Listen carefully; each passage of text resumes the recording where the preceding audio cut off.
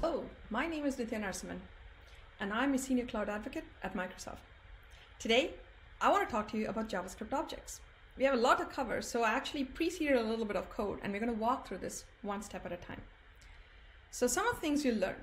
How can you represent, what, what exactly are all JavaScript objects? There are ways for you to represent real world objects in code. So how can you do that? We're going to know about, look at that in just a second. Real world objects have associated attributes. In JavaScript, they're known as properties. Real world objects have actions you can execute in them. In JavaScript, those are called methods. And last but not least, we're going to learn about this special keyword called this. So let's start. Since I have a lot to go with, I actually preceded a little bit of code that we can execute one at a time and then we can walk through it. First, we're going to look at how we can define a simple object in JavaScript. So I've uncommented the code and I'm actually going to run it. And you can see that blank type, all I've done is defined blank as open brackets, curly braces, close curly braces. And if I print that out, the type of this is object. So a simple object, any the simplest object you can think of, is effectively a pair of curly braces with nothing in them. In reality though, an object is nothing more than a set of name value pairs that kind of identify the attributes and actions, in other words, the properties and methods of that object. So next, let's actually look at what that really looks like. So I'm going to comment this out, uncomment the next bit of code, and we can walk through this. So now what we're doing here is really actually providing some properties to this object. Properties are nothing more than name value pairs separated by commas. So let's look at what that looks like when we execute it. Oh, hang on. I need to save that. Now you can see that we have book type still being object, but when I look at the value of it, you can see that it's a series of name value pairs separated by commas. The names are title, author is available. Values, as you can see, can be strings, can be booleans, can be numbers. So at this point, we're beginning to give the object attributes, something that describes the data that you can store in the object. Next, let's look at what we want to do if we want to define actions on the object. So in this case, we're looking at a book, right? What if we want to actually change the status of is available based on whether someone checked in or checked out that book from the library? So in this set of code, Again, let me just run it and then we'll walk through it step by step. You'll see still the same code as before. We have the same attributes, but now we have two additional methods. Methods are nothing more than functions defined or associated with that object. So I you to pay attention to two things here. First of all, note that functions look just like any other property. They're also a name value pair. They added an, in a comma separated way as well. And they are in fact just another legitimate property. They're just special properties because rather than have them associated with variables or data, we have them associated with function definitions. In this case, again, just as with regular functions, we'll see this later, you can invoke those actions by calling that particular method. So now we know how to define an object, a very simple object, give it properties, and define methods on it. The example you've seen here is called an object literal. And we're going to talk about that in just a second. So it is the simplest way for you to create objects in JavaScript. But what we want to do is we actually want to look at ways in which we can create slightly more, um, or we can look at other ways in which we can create objects as well. So in this particular thing, let's kind of first start by looking at what constructors are. In object literal, which is what you've done before, all you had done is declare the equivalent of a variable, assign to it empty kind of uh, curly braces followed by name value pairs enclosed within, right? And that created an object. It's literally defining and creating it at the same time. That's how I remember object literals. The other way to create objects is through constructors. And this is an example. A constructor, think of it almost like building up an object bit by bit by constructing things like adding properties, adding methods, etc. And object constructors are templates. They're like blueprints. Again, they define something when you stamp them out using the keyword new, that's when you actually create an instance of the object. So in this case, we are using new object. Object is the base template for all objects. If you have to just define a vanilla object, that's what you would use. And now if I define book as a new object and I just print that, I'm going to see, let me actually um, comment this out here. Let's just see what book alone looks like. So in this case, we've defined book as simply a new object, right? No other property, no method. And you can see it's a book is of type object. Totally legit object just like before. Its value is an empty set of name property values, right? But now, if we actually want to start filling data, we can do it in one of two ways.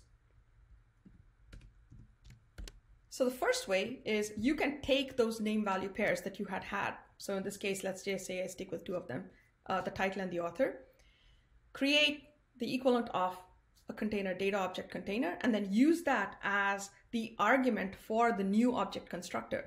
So in this case, I've created this data variable and passed it in as the constructor. And now when I actually look at the output, oh, I need to save that you'll see that book one, this new type, is effectively a new object that's been created using those name value pairs I passed in.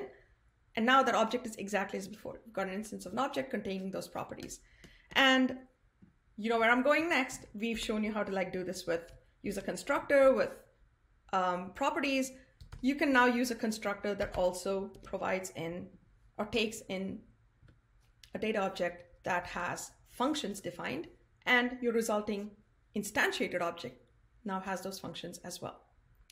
So till now what we've learned is you can create an object or rather objects are, are collections of name value pairs.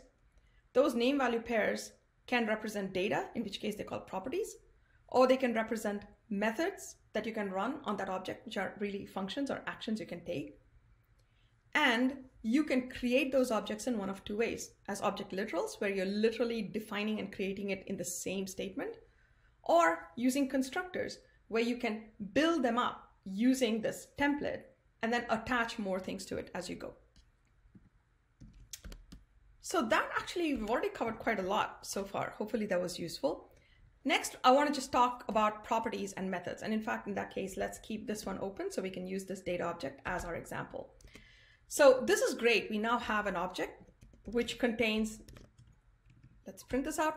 It contains three attributes or properties, title, author, and is available. And it contains two methods, check in and check out. How do I actually access them? This is great, I have this object, but what, how, how can I actually understand what that contains? So we have two different notations and I'm going to start first by showing you how you use this with the properties and then remember methods are just special properties. So you can apply the same thing there and we'll look at that in just a minute. The way you access it is option number one, use something called dot notation. So in this case, let's comment this out so we can actually access the code here. Okay, in dot notation, what you're going to use is you will effectively take the object name. So in this case, we're looking at object two dot. Now dot is just like, if you're familiar with namespaces, this will probably be very familiar to you. So dot and then the property name, in this case, let's say um, author, right? This should now print out the name of the author. There you go, George Orwell, right? So the dot notation is, remember, object name dot the property name, and that gets you access to that value. I can also change the value using the same property. I don't want to change it, but we will. Um, let's go and change this to say um, G Orwell instead. There, I feel better. I'm not totally lying. Haha. um, and now let's see if that makes a difference. And you can see that now when I print, let me clear this up so you can actually see it. Uh, and we'll print the whole book. How's that? Because then we can see whether we change the book itself or not. And now you can see that when I set the book2.author to the new name, the book object's value changed. So now the author says G. Orwell. So this is how you use dot notation. Brackets notation is exactly similar in terms of what you can do. You can read or you can write data to those properties, but you're going to think of it almost like a hash map where the property name is like the key and your value is represented by using square brackets. So in this case, I'm going to just take these three statements and we will replace them here with brackets. So here, rather than use dot, I will use brackets. But remember now, these are keys. So I'm going to have to use a string because it's really the key name that I'm being that I'm passing into this structure. So this is using, it's very similar to arrays if you think about it, right? So if you want to remember this, just remember that an object's data value, name value pairs are like a hash map and the names are the keys. So now um, if I want to assign that, I can do the same thing. We'll test both these out in just a second. Okay, so let's look at what happens now. And as you can see, you're seeing the exact same result. So whether I use dot notation or whether I use bracket notation, I get the exact same outcome. Pick whichever path you choose, which one makes most sense to you. I tend to use dot notation a lot more because it's easier to remember. But we can also take this one step further. With this, you were looking at properties. Can I do this for methods? In other words, can I invoke a function? Turns out you can. And the easiest way for me to kind of uh, do this is we'll just replicate one of these. And what I'll do is I will actually print the is available property because we know that there's a method that can change that. And then I will call the method. So let's say this is, was it checked in by default? Yeah, is available as true. So I'm now going to check it out, which should set it to false. And then we can basically see what is the status of is available now, right? Oh. let's just print it. We'll come back and check this later. Okay. So I'm going to close a comment off all of these so we only see the output that we are looking for. So now when I use dot is available, you can see that the property the property had a value of um, true. And then when I check it out, I'm using the dot notation on the method name to invoke it and as a result, you can see that now the is available status is set to false because I've effectively invoked that method. Now this is probably familiar to you, but know that you can use brackets notation for methods as well. So I'm going to take the same code. Let's uh, comment. The, okay, let's keep them both. We can then kind of compare and contrast. And in here, what we're going to do is we're going to use the bracket notation. So instead of saying, uh, we'll, we'll use this part the same, but instead of saying book two dot checkout, we are basically going to say square brackets checkout and now using the key to actually access it. And if we're right, we should get the exact same result. Let's see. There you go. So with that, the last thing we'll talk about today is the this object. So in all of the code that we've written so far, you might have seen us repeatedly use the term this. So like here in the function, within functions, we have this dot is available. What exactly is this? Think of this as a, a keyword. It's a, it's a, it is a keyword, a reserved keyword. Think of it as a handle to your runtime context within functions. So let's look at what that actually does. So I have two examples here. If we print it out, we can see what this is. So to kind of look at that, within this function, I'm just returning this. So it means that whatever was set as the runtime context for the function, I should be able to tell what that was just by looking at the object that's returned. And I'm doing it in two cases. In case one, I have a function defined within an object, and that, when I call it, returns it's this object. In another case, I have a function that is defined at the global scope, so not within an object, and I return whatever it sees as this. And let's first look at the data and then we'll talk briefly about what this is.